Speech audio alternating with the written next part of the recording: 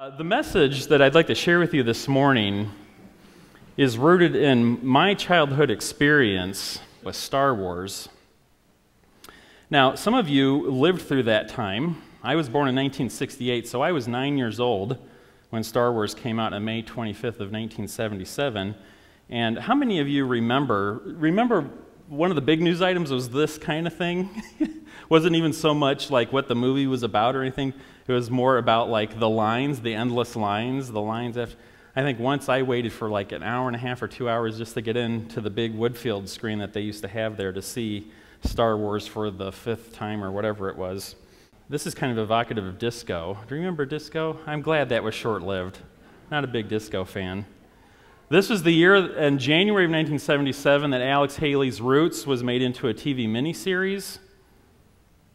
This was the year that Elvis died.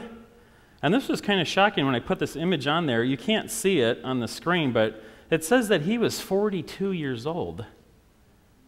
Now, I'm 47, and I remember when he died um, thinking, wow, you know, he's had a good career and all that. He was only 42 years old. That doesn't seem possible.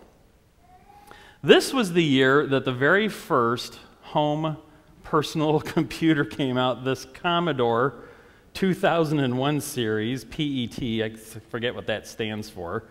That's what it looked like. Young people, take note. You take about a million of those and roll it into your iPhone, and that's what you get. and this was the year that the Atari 2600 came out. This was, this was like this was like a sibling to me. I have a brother and a sister, but I played this thing so many, day after day, just like Tim plays his Wii. This, oh, I had so many games. I just loved playing that game system over and over again. But thinking about all this Star Wars hubbub going on right now and thinking about how important it is for our culture, it really made me think about how much of an impact Star Wars has had on our religious culture in the United States and, and indeed around the world. Now, here you can see an artist's rendering of uh, Yoda as a preacher preaching from some sacred text to a bunch of, you got a couple Jawas and a Greedo and Boba Fett and R2D2. All these Star Wars characters are there. And they're in a sanctuary setting. And I don't know if you can tell, but that's the Millennium Falcon. So I have no idea what story he's talking about. But um, this, I really think, is this picture really embodies for us the effect that Star Wars has had on the religious culture of the United States. Now, this is a quote from George Lucas, I think, in an interview that he gave to The New Yorker, I believe in 2000. He said, I wanted Star Wars to be a traditional moral study, to have some sort of palpable precepts in it that children could understand. There's always a lesson to be learned. Where do these lessons come from? Traditionally, we get them from church, family, art, and in the modern world, we get them from the media, from the movies. And it's probably not too much of an understatement to say that Star Wars and George Lucas really transformed the relationship between movies and the popular culture, and indeed the religious culture of the United States, if not the world. Now, here's a, a famous quote from Han Solo. Now, you know, Han Solo is kind of this renegade, uh, you know, he's a pirate, and oh, he's also kind of like a, a middleman when it comes to, you know, trading goods and this kind of thing, and he's just in it for himself. And he doesn't really believe in all this religious stuff. And at one point he says, Hokey religions and ancient weapons are no match for a good blaster at your side, kid, he says to Luke Skywalker. So, what might our response be to that? I find your lack of faith disturbing. Remember this one in the first movie? Where this guy, I forget what his name is, but he has the same approach to the religion of the Force. And Darth Vader's going to have none of that and then he just starts strangling the guy with the force. I find your lack of faith disturbing. So, should we have that kind of response to people that feel this way, perhaps, about Jesus and Christianity? And there's a lot of them. Do we think this way? Maybe a little bit. We might think, well, that's kind of disturbing that people don't believe in God, or maybe they worship a different God. Here's our beloved Yoda Fear is the path to the dark side. Fear leads to anger, anger leads to hate, hate leads to suffering. So here we're getting a little bit deeper into the message of Star Wars that is really philosophical and it's very Eastern oriented and very kind of Buddhist.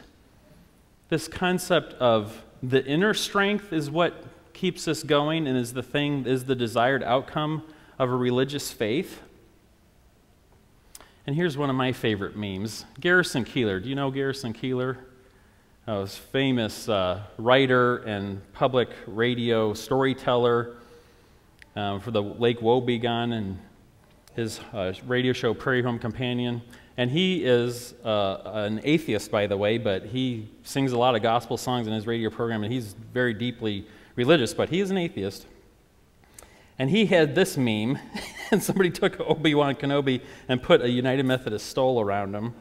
You know you are a Methodist when someone says, May the force be with you, and you respond, and also with you. this, this, I think, is maybe where a lot of Christians are, not just United Methodists.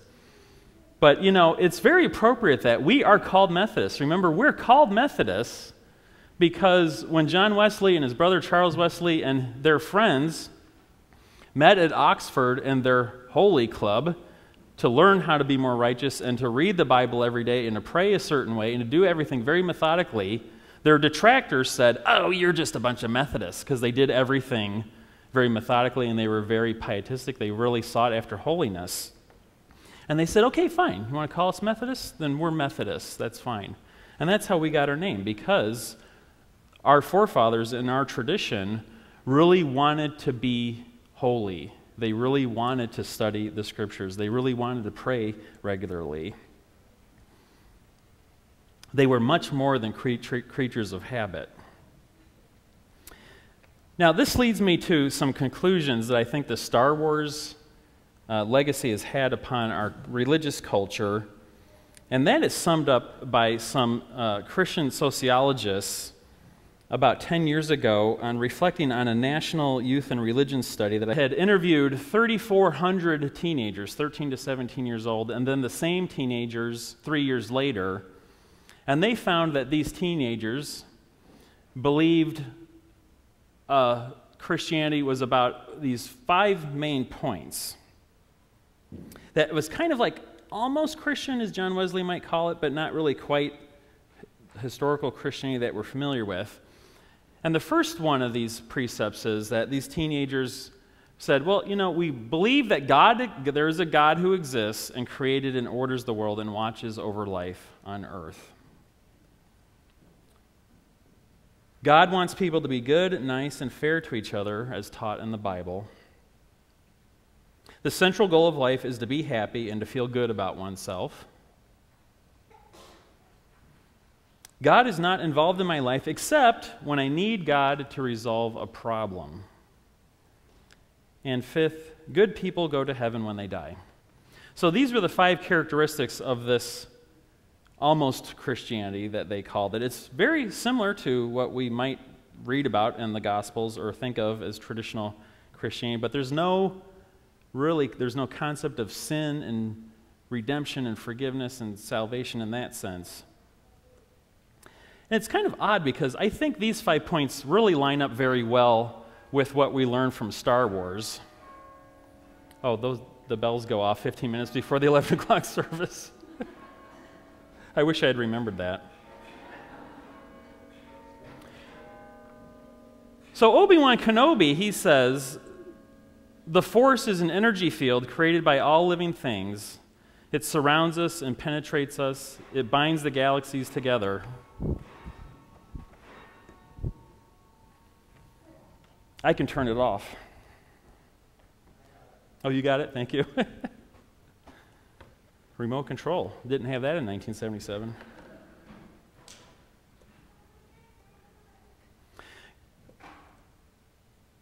A Jedi uses the Force for knowledge and defense, never for attack. So basically, the religion of Star Wars says, well, God wants you, or the Force, or whatever, the supernatural wants you to be good and treat other people with respect. Don't attack them. To be Jedi is to face the truth and choose. Give off light or darkness, Padawan. Be a candle or the night, Padawan, but choose. Yoda says this, I think, in episode 3 to one of the young Padawan Jedi, um, not to Anakin, to somebody else. In other words, it's up to you to choose. Are you going to be happy or not? Or are you going to choose to go down the dark side, as they might say in Star Wars? God is not involved in my life except when I need God to resolve a problem. What's the biggest problem in the first Star Wars movie? The Death Star. And what's the climactic moment? When Ben Kenobi talks to Luke and says, Use the Force, Luke. So, this is this concept that, well, God or the Force or the supernatural, whatever, is there when you need it. The rest of the time, eh, you know, the Force just carries on. And, but when you really need the Force to blow up the Death Star, for example, use the Force.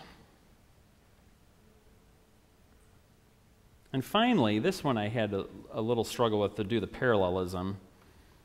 But here the spirit of Qui Gon Jinn says, all energy from the living force, from all things that, we, that have ever lived, feeds into the cosmic force, building everything. So this is not really a Christian idea. This is more of a Eastern, perhaps a Hindu idea that all life is connected. And then when, when death happens, there's a regeneration of life, perhaps the reincarnation. Now, this is kind of the religion that I think I inherited from Star Wars and even from the church somewhat. And as this study revealed 10 years ago, that most teenagers are learning a very similar kind of Christianity, um, whether it's from church or from the culture. Now, think about the stories that we heard this morning with Samuel and Jesus. Uh, the historian Josephus in the first century said that Samuel was probably 12 years old when he was called by God. But Samuel was actually much younger when his mother gave him up to be with the elders, to be raised in this religious community, to be trained in the ways of the priesthood. He was probably about three years old because the text says after he was weaned, which was about three years old. So Hannah gave up Samuel very early, and this is alluded to in the passage that we heard this morning. His mother used to make for him a little robe and take it to him each year when she went up with her husband to offer the yearly sacrifice. So this implies that Samuel was in training, just like those little young Padawans in the early episodes. they were training to be Jedi's. So Samuel was in trading. In fact, we say that Samuel was the last of the judges and the first of the prophets. So he was there from a very early age, and they visited him yearly. So he grew up in this religious community. And then he was about 12 years old when he had this calling from God, and then, of course, later anointed Saul as the first king of Israel. Similarly, Jesus was 12 years old when he was taken with his family to Jerusalem. And then what happens? This thing that is so completely foreign to us. They forget Jesus. Now, some of you are pretty close to being 12 years old. Tim's 10 years old. Um, I can't imagine leaving Tim behind in some cathedral in downtown Chicago and then not knowing for like two days, you know, oh, we forgot Tim. How could they do this? Because they were traveling in probably a big band of extended family, and they just assumed when they're moving that the whole family is moving with them. But Jesus was there doing his father's business. Assuming that he was in the group of travelers, they went a day's journey. Then they started look, to look for him among their relatives and friends. When they did not find him, they returned to Jerusalem to search for him. After three days, they found him in the temple, sitting among the teachers, listening to them and asking them questions. So I think there are three primary things that are going on here in the story of Samuel and Jesus, which are very similar. If you read the beginning of Luke and read the beginning of 1 Samuel, see very, there are very many parallels. Hannah's prayer is mirrored by the Magnificat, Mary's prayer after she gets the news um, that she's going to bear uh, the Christ child. In the Jewish Publication Society translation, it says of verse 26 that we heard this morning Young Samuel, meanwhile, grew in esteem and favor both with God and with men. And the last verse we heard from Luke, and Jesus increased in wisdom and in years and in divine and human favor. So back then, this was the role of the religious community. This is what the religious community was providing for Samuel and for Jesus. And I would argue that this is what we're doing too. That we're not so much teaching very specific knowledge about the Bible or memorizing the Bible as an end in itself, but hopefully we are rather preparing our young people to be people of character, to be people that have the character required to follow God. And these are the three things I think that we see in the text that we heard this morning. That we're raising our children so that they can have divine and social esteem or respect and self respect. And this gives them purpose. Because without that base level sense of self respect and general respect within the community, it's hard to have a sense of purpose in your life. And then also, wisdom, that is, fear of the Lord, as the Psalms call it. Having wisdom and fear of the Lord, or we might say humility, enables us to practice the things of faith. Because if we don't have humility, then we have no need. And why should I serve others if I don't have humility? I have everything that I need within myself. And finally, divine favor, or what we would call grace as Christians. And this is the thing that really enables us, God's power, His unconditional love, to empower us to participate beyond our religious community. Now, here we can see uh, from Psalm 139, the psalmist says, For you created my inmost being, you knit me together in my mother's womb. I praise you because I am fearfully and wonderfully made. This is that first level of training that we give our young people. All the young people that go through Sunday school here, all the youth that come through all the youth programs and ministries, and go on mission trips, go through confirmation. This is a very basic level thing that we're giving them. We're teaching them that they are made by God, and because they are made by God, they should have self respect and respect for other people. And then, therefore, they can have purpose. From Proverbs chapter 9 Fear of the Lord is the beginning of wisdom. Knowledge of the Holy One results in understanding. Wisdom will multiply your days and add years to your life. If you become wise, you will be the one to benefit. If you scorn wisdom, you will be the one to suffer.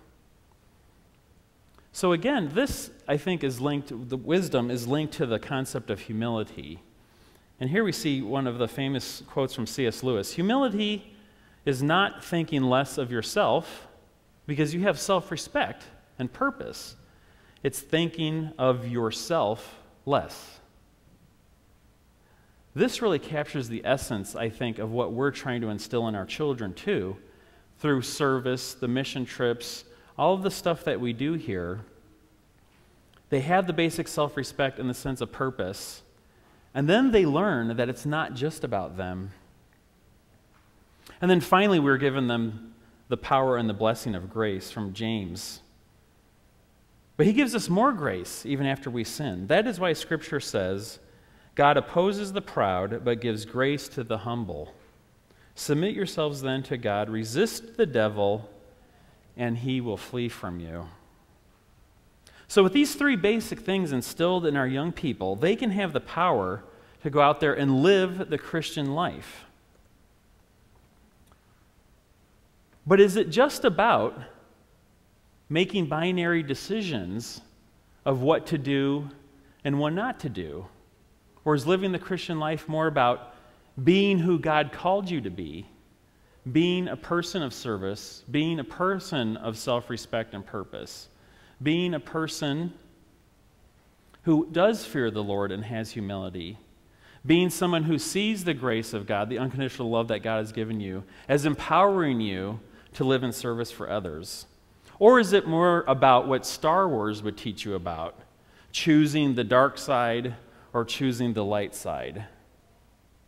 I think most of us would agree that's important, but life is really a lot more gray than that message of Star Wars.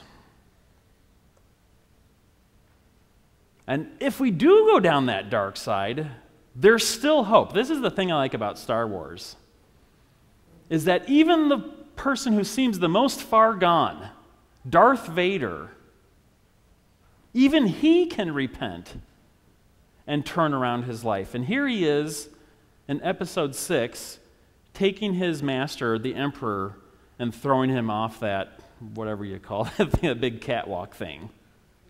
So even he can defeat evil. Even there's still enough goodness in him that even he can turn to that goodness or what we would call God. So I want to ask you this morning when you think about where you've come from as a young person or where you are now if you're a young person, what you're learning in this community, what does this community mean to you? Are we teaching you more than this? Hopefully, you're getting this on some level, but you should be getting this from your parents, I would think at least. What are we getting from this community? What do we look forward to? How does this community mold us? What are some of the things that we do? This should look familiar to you. That's a picture of where we're sitting right now from the balcony. Do you see this community in this kind of way? In small groups? Or maybe even this kind of way? Just sitting quietly by yourself with a cup of coffee or hot chocolate and reading your Bible. Or maybe just something as simple as this just sitting one by one, whether it's here in the church building or out at Panera or at home, visiting people who are lonely, or just even within your family, just spending some quiet time one on one. That's this church. And hopefully, you would see this church too as more than just the teaching or just the programs. That we're answering the call of Jesus in Matthew 25. When he says, I was hungry and you gave me food. I was thirsty and you gave me something to drink. I was naked and you gave me clothing. I was sick and you took care of me. We had mention of that earlier this morning. I was a stranger and you welcomed me. Here are some Syrian refugees in a Catholic cathedral in Europe. I was in prison and you visited me. That Confirmation Sunday is a celebration of the fact that you're on a journey. Much like this scene at the end of the first Star Wars movie is a celebration of the journey that they're on. Because it didn't end here. This was just a one time celebration. This is a very important part of church, but this is not the end all and be all of our community. And so we might find ourselves this morning asking ourselves, how can we take the messages of the culture, perhaps even of Star Wars, and take them and turn them deeper and plow them richer soil in the story of Christianity? Where can we find the parallels so that we can learn to use these as connection points with the culture that is so deeply embedded in this mythology of Star Wars and, and other mythologies. Maybe we could be more like Ben Kenobi when he lays his life down to save his friends. Just like Jesus said, those who try to make their life secure will lose it, but those who lose their life will keep it. Amen.